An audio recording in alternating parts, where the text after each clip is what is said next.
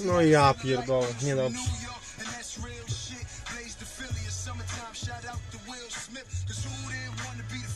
No co ty za zwody robisz, no? No Ладно, давай.